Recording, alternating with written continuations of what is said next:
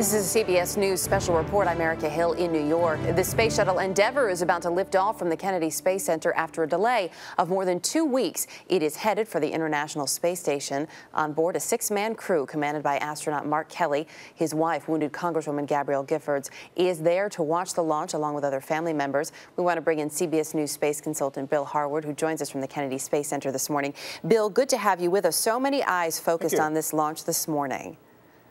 Yeah, they really are. You know, this is the 25th and final flight of the shuttle Endeavour, and of course, the next to last mission we're ever going to see out of these winged orbiters, which have become such technological icons in this country over the last three decades a huge amount of interest, both because of the last flight of Endeavour and also, as you said, because of Commander Mark Kelly and his wife, Gabrielle Giffords, who's here watching this launch. In terms of that interest, uh, some estimates go as high as as many as half a million people expected uh, to watch that.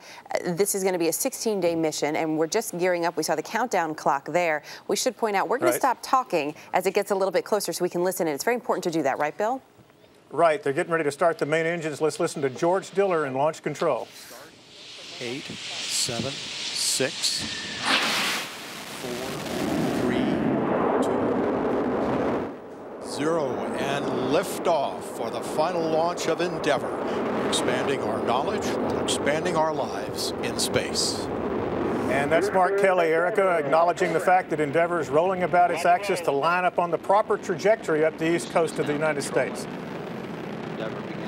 And these are key moments as we watch this build too and, and listen in to hear what they're saying on board the shuttle, correct? That's right. This is Kyle Herring in Mission Control at the Johnson Space Center talking. And Erica, the sound has just now gotten to our broadcast position, shaking the building, shaking the windows. It's always a, an impressive sight to see the space shuttle take off and to feel it as you do when you're here at the launch site. Yeah, we've heard it described a number of times, but there really is nothing like feeling it in person, I imagine three engines. No, there's not. And uh, right now they're throttling down the main uh, engines as they go through the sound barrier to kind of ease the stress on the spacecraft. They'll throttle those back up in a few minutes, and we'll hear that call from Mission Control. One minute into the flight. As we listen for Endeavour, that. Endeavour, go at throttle up. And that was Commander Mark Kelly responding that go at throttle up simply means that all the systems are working properly. Uh, the telemetry shows no problems with the three main engines or guidance or any of the other systems on the space shuttle. And that is exactly, of course, what we want to hear. We're also watching the live picture there as we can see it. Uh, the boosters will come off about two minutes in. I know you had mentioned to me earlier. What exactly will they be doing on this mission, Bill? Very important mission. They're going to be carrying a $2 billion particle physics experiment up to the International Space Station. Uh, that's one of the scientific highlights uh, of the mission, as well as spare parts and components that the station is going to need when the shuttle stops flying, things that are too large to launch on smaller unmanned cargo ships.